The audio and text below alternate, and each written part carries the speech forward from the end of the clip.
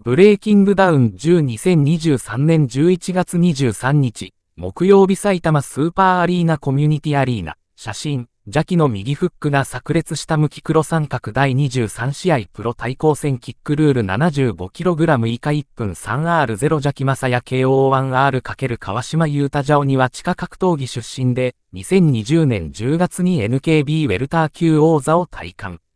2021年11月にリセ初参戦を果たし、現リセウェルター級王者の中野啓太に 2RKO 負けを喫したが、2022年3月に行われたライジン34ではコータとダウン欧州の末に KO 勝利を挙げた。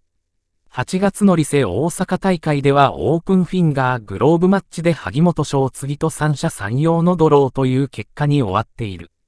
2023年1月のリセでは宮城管轄に延長戦の末に判定負け。9月には工事がプロデュースする、成り上がりに出場して3分 1R で豊木に判定負けした。戦績は11勝、5KO、9敗2分け。ミスターブレイキングダウンの異名を持つ川島はブレイキングダウンで9勝2敗。前回のブレイキングダウン9ではボヤンコセナルとダブルノックダウンの末に先に立ち上がって KO 勝ちを収めた。邪気は、プロの看板ショって、俺はブレイキングダウンの看板ショって潰してやるから、と宣言した。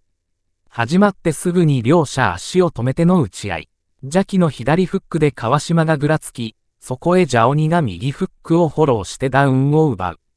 再開後、すぐに左右フックで襲いかかるジャオニに川島が後方へ吹っ飛んだところでレフェリーが勝負ありと見てストップ。ジャオニがゲーム王者の実力を見せつけての KO 勝ちとなった。